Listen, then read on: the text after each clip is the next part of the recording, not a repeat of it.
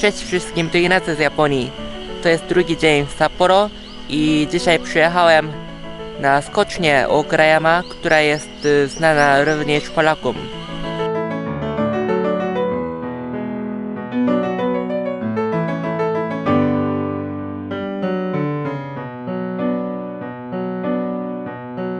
Ale gorąco, musiałem zdjąć bluzę.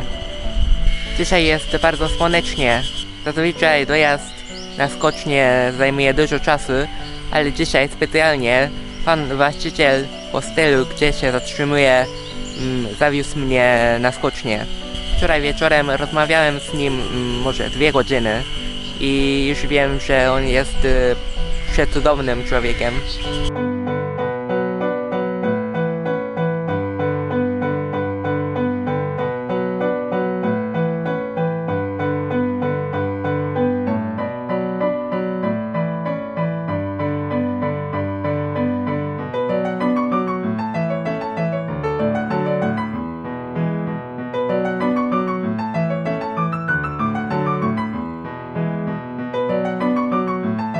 Nie wiem, czy można to poczuć przez kamerę, ale ta wielkość naprawdę przeraża.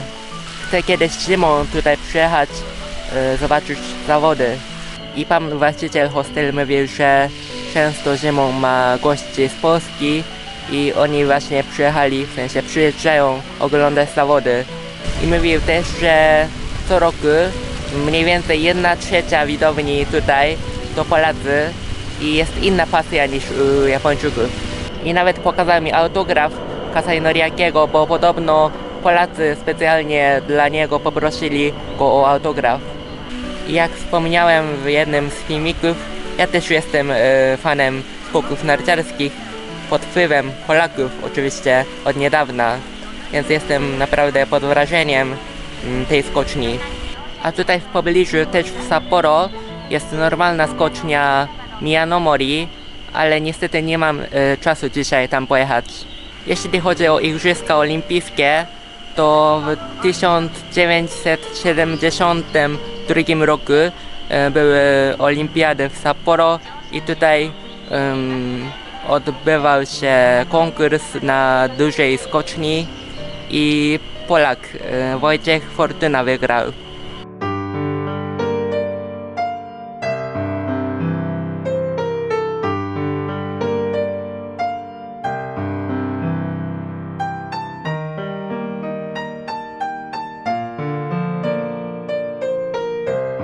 Teraz jadę na górę.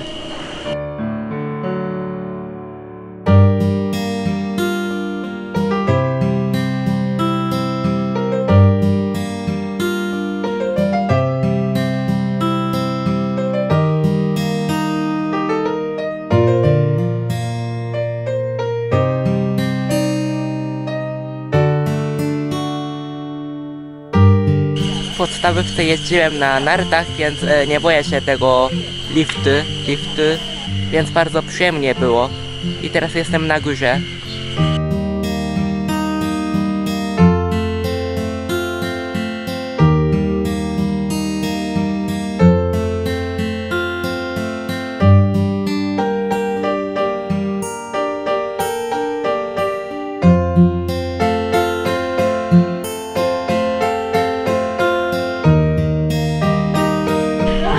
Góry jest przepiękny widok na całe Sapporo i naprawdę jestem pod wrażeniem. Od punktu startowania tutaj do końca skoczni, czyli do punktu wylądowania jest, e, są 133 metry. Oczywiście teraz nie ma śniegu w ogóle, ale nawet latem e, warto tutaj mm, przyjechać, zobaczyć ten widok.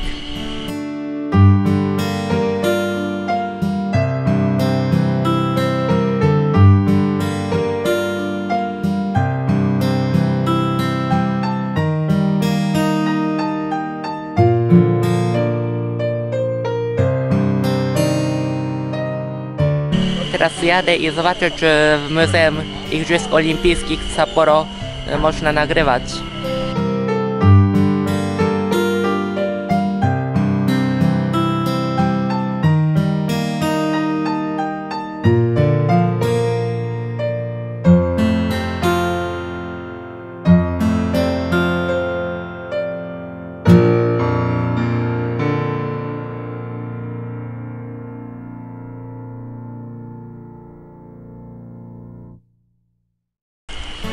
Naprawdę fajnie.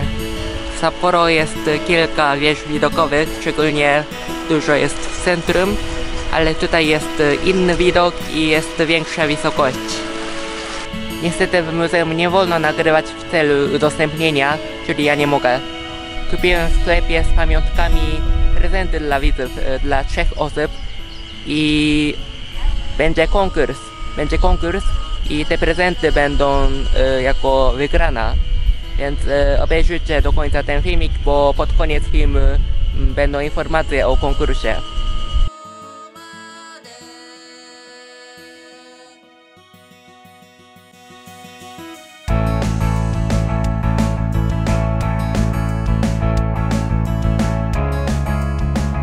Ale naprawdę dobrze, że dzisiaj przyjechałem tutaj, bo jestem bardzo zadowolony. I tak naprawdę zastanawiałem się, czy naprawdę przyjechać tutaj, czy nie, bo jest lato i dodatkowo gąciarz, gąciarz już był tutaj na skoczni, więc naprawdę nie byłem, nie byłem pewny, czy na pewno tutaj przyjadę, ale nie żałuję.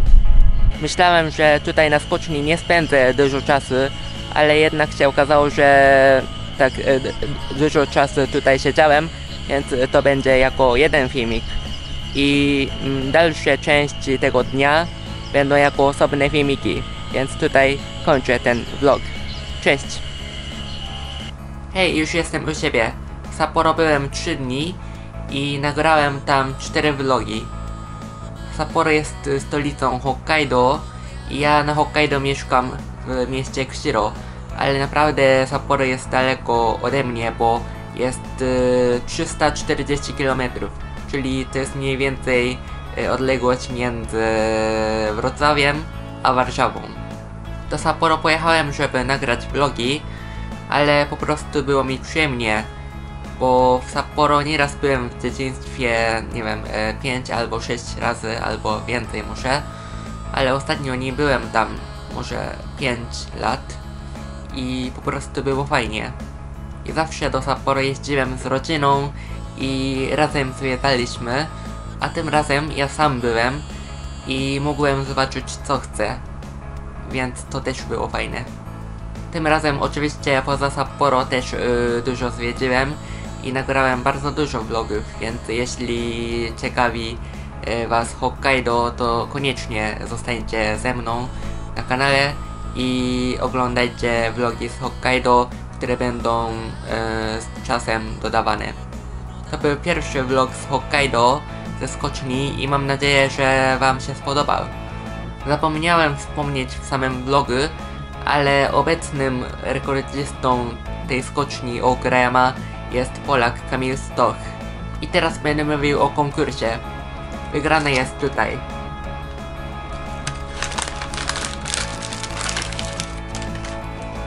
Magnesy, trzy magnesy. E, ze skoczni Ogrema oczywiście. Widać? Widać? Mm, wszystkie są takie same, ale pokazuję na wszelki wypadek, że są trzy. Czyli prezenty wygrają trzy osoby. I myślę, że to jest niezłe prawdopodobieństwo, więc e, koniecznie weźcie udział w konkursie. I teraz powiem wam, jak uczestniczyć w konkursie z wygraną. Myślę, że wymagania są dość proste. Pierwsze, udostępnijcie ten vlog, ten vlog ze skoczni na swoim koncie facebookowym, na swojej osi czasu. I wtedy koniecznie dodajcie jakieś słowa, tekst, które opisują vlog. Na przykład Japończyk mówiący po polsku pokazuje skocznie o Grema w Sapporo. Drugie, polubcie moją stronę na Facebooku, która nazywa się tak samo jak ten kanał, czyli Ignacy z Japonii. Link jest w opisie, więc y, na pewno możecie znaleźć moją stronę. Jeśli macie już moją stronę polubioną, to oczywiście nie musicie tego zrobić jeszcze raz, bo po prostu nie da się. To jest fanpage i tam dodaję różne posty albo wiadomości dla widzów i będziecie widzieli częściej y, to, co ja robię. Tutaj na YouTubie dodaję filmiki mniej więcej raz na 3 dni, ale czasem na Facebooku częściej dodaję posty. Trzecie, zróbcie zrzut ekranu posta, na którym udostępniliście mój vlog ze skoczni i wyślijcie go do mojej strony. To jest po to, żebym po prostu wiedział, że, że naprawdę to zrobiliście. I to wszystko. Wylosuję trzy osoby wśród tych, którzy to zrobili i napiszę do tych e, trzech osób. Losowanie zrobię w sprawiedliwy sposób i znajdę jakiś serwis, gdzie można to zrobić losowo. I na filmiku yy, pokażę wynik. Zrozumieliście? Powtórzę ważne punkty. Udostępnijcie ten vlog na swojej osi czasu na Facebooku. Yy, polubcie moją stronę na Facebooku Ignacy z Japonii. I zróbcie zrzut ekranu udostęp udostępnionego posta i wyślijcie go yy, do mojej strony. Mam nadzieję, że nagroda jest e, wystarczająco atrakcyjna i wielu z Was weźmie udział w konkursie. Jeśli możecie, to zostawcie subskrypcję, bo jeszcze będę dodawał filmiki z Hokkaido.